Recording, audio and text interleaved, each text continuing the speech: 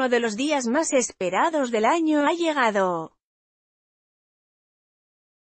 La boda del príncipe Harry y Meghan Markle en la localidad de Windsor es sin duda el evento del año donde el amor ha vuelto a triunfar.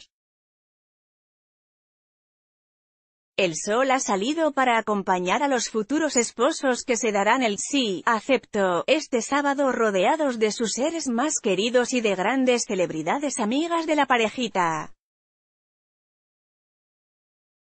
Entre los primeros invitados en llegar a la capilla de San Jorge han sido George Clooney y su bella esposa Amal quien ha sorprendido para bien con un espectacular vestido color amarillo.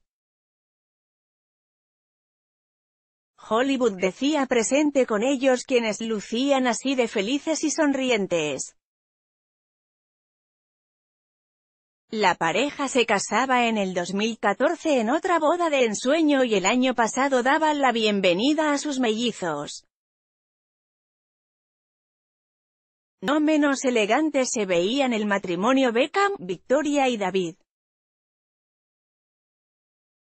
La diseñadora y cantante elegía para la ocasión un vestido más tradicional en color y en diseño pero de nuevo original y diferente como ella misma.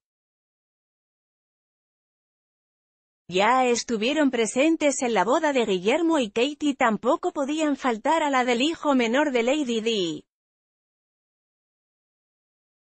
Suscríbete a nuestro boletín Otros de los rostros más conocidos que no han querido perderse la cita más romántica del año son la presentadora Oprah Winfrey, el cantante James Deant, el actor Idris Elba junto a su pareja Sabrina Doure, y la tenista Serena Williams acompañada de su marido Alexis Ohanian.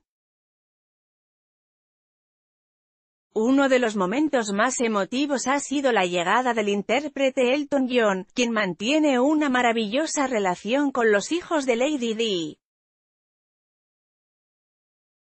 Recordemos que el cantante era íntimo amigo de la fallecida princesa y no ha querido perderse ninguno de los matrimonios de los príncipes.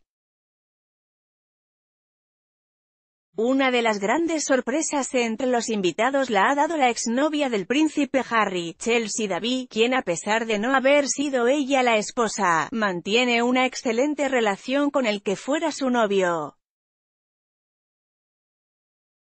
El deporte, la meca del cine, la música y el arte en general han querido estar presente en un día lleno de magia y amor, que reunirá unos 2.600 invitados. Según el Palacio de Kensington, 1.200 eran ciudadanos de diferentes edades y orígenes, 200 representantes de organizaciones relacionadas con los novios, 600 miembros de la comunidad del castillo de Windsor y 100 estudiantes de colegios locales.